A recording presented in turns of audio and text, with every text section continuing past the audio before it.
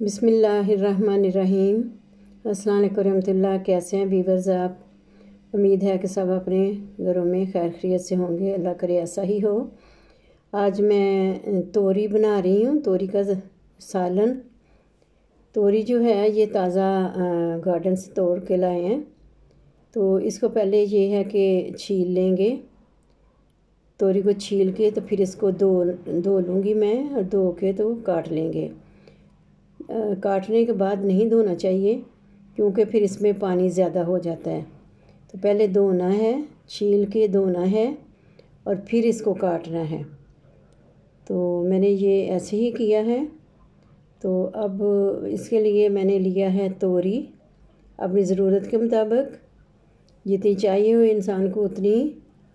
और मैंने ये एक बड़ी तोरी थी, उसको तकरीबन एक किलो के बराबर थी। प्याज लिए हैं दो, दरमियानी साइज़ के और, ये टमाटर भी दो थे। दरमियानी साइज़ के, लहसुन अदरक की पेस्ट है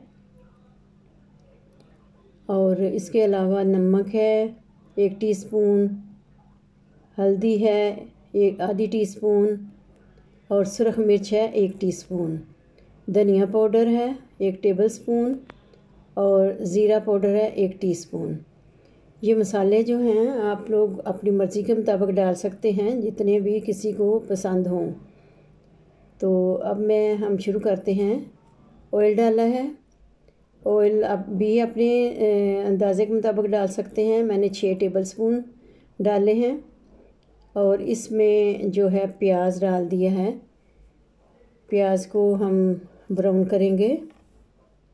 बहुत डार्क ब्राउन नहीं करना। गोल्डन ब्राउन करेंगे। प्याज हमारा हो गया है, जब तक हो रहा है, उस वक्त तक मैं ये जो मसाले हैं, इन सारे मसालों की मैं एक पेस्ट तैयार कर लूँगी। पानी डाल के तो अच्छी तरह इनको मिक्स करके मैं अक्सर पेस्ट बना के डालती हूँ, ताकि मसाले हमारे जो हैं, जब हम डालें तो जले ना।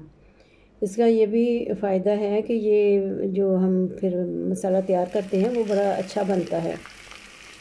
प्याज हमारा ब्राउन हो रहा है। गोल्डन ब्राउन करना है।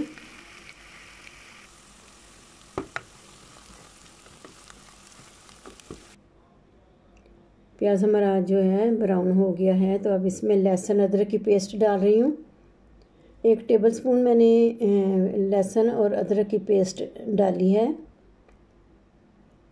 और इसको भी हमने अच्छी तरह भूनना है ताकि लहसुन का कच्चापन जो है वो दूर हो जाए और इसकी जो स्मेल हो होती है वो ख़त्म हो जाए।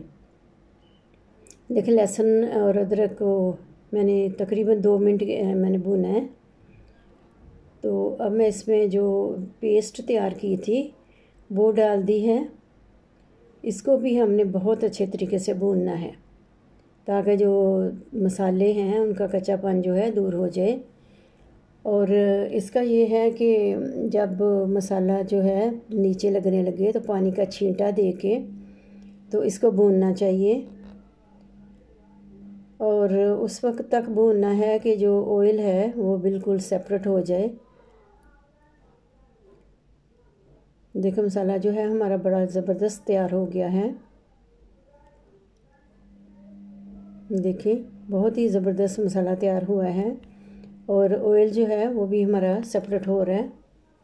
अच्छी तरह भूनना है। देखिए, मसाला हमारा बिल्कुल बहुत ही अच्छा तैयार हो गया है। कलर भी बहुत ही ज़बरदस्त आया है। तो अब अब मैं इसमें टमाटो पेस्ट डाल रही हूँ। दो टमाटर की मैंने पेस्ट तैयार कर ली थी और पेस्ट को, टमाटर पेस्ट को भी बहुत अच्छी तरह से भूनना है ताकि इसका जो कच्चापन है वो दूर हो जाए। मसाले का ये होता है कि जितना अच्छा इसको भूनेंगे, जितना ज़्यादा भूनेंगे, उसका जायका भी उतना ही अच्छा आएगा। अब मैंने दो टेबल स्पून दही लिया है योगुर्ट तो उसको मैंने फेंट लिया, फेंट के तो मैंने वो डाला है तो उसको भी अच्छी तरह हम भुनेंगे। दही जो है, दही का भी कच्चा बन दूर होना चाहिए। मसाला बहुत ज़बरदस्त तैयार हो गया है। तो अब मैं इसमें जो तोरी है, वो डाली है और इसको अच्छी तरह मिक्स करके। तो इसको मैं, इसमें पानी नहीं डालूँगी। इसको जो है हल्की आँच करके तो दम लगा दूँगी। और इसको देखते रहेंगे कि कहीं नीचे ना लग जाए, क्योंकि तोरी जो है वो अपना पानी छोड़ती है। तो मैं अक्सर इसको दम पे बनाती हूँ। ताज़ा है तो ये जल्दी गल जाती है, कई दफ़ा नहीं गलती। लेकिन देखें, तोरी ने पानी छोड़ा है तो इसको मैं इसी में ही पकाऊँगी। ज़बरदस्त ये हमारी तोरी जो है गल गई है।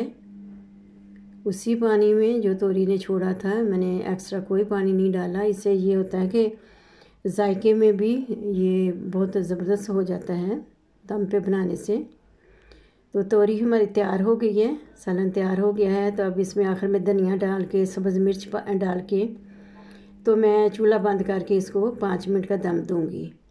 अगर आप लोगों को ये मेरी रेसिपी पसंद आए तो प्लीज़ मेरे चैनल को सब्सक्राइब करें, शेयर करें, लाइक करें। जजाकल्ला अस्सलाम